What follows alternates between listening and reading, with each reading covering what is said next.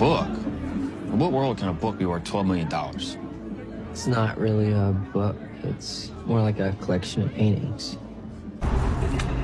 I still don't understand how a book could be worth $12 million. It's like if Picasso had a bunch of his paintings in a book. When you say it's in the library, it's like what? Sitting on a shelf?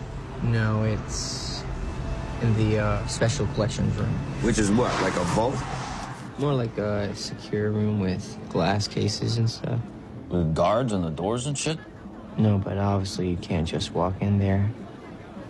They pull in here. Because there's security everywhere? Not that I saw. Whoa. What then?